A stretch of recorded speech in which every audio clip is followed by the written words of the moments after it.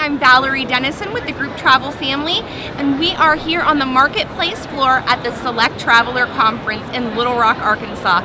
I'm here with Chris Lee, and he does the China Plus tours. Chris, do you want to tell us a little bit about your tour and what you have to offer the groups here at the Select Traveler? Okay, thank you.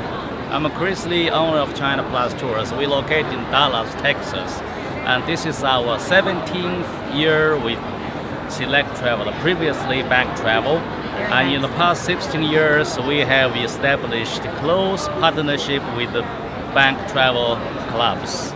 And uh, we enjoy it. And we uh, would like to provide the best uh, services and the high quality tours for all the bank groups who travel to China and Southeast Asia. And this is our promise. And uh, uh, traveling with China Plus, you will surely feel uh, it's personal, flexible, and professional, and worry free.